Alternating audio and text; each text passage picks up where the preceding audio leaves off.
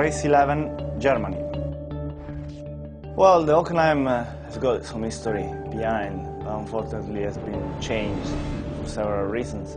Been racing on the old track where I was uh, always extremely competitive because it was one of those tracks where you really need to, to, to pull out uh, all the experience, intelligence of a driver in setting up the car, in driving it, and in uh, really getting all the little details right.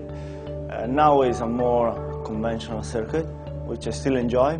Uh, normally we, we go there and, uh, during the summertime and it's uh, normally very hot.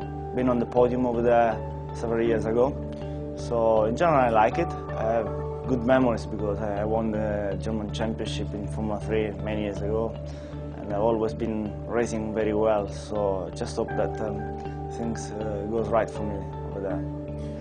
Uh, the only time we, I mean, we can feel the fans uh, around ourselves at the circuit is when we go around the circuit on Sunday morning for the drivers parade. But once you get you step in the car, you basically have to concentrate and you don't look much um, aside. You, you just uh, are very focused on what you're doing, and no matter who is on, on, on the on the around your, around yourself. Uh, maybe the other, the other time when you notice people around is when the race is over.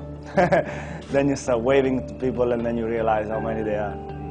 Uh, but when you have a good day and you have a good time, uh, it's a pleasure, you know, to spend some time with, uh, with the motorsports fans.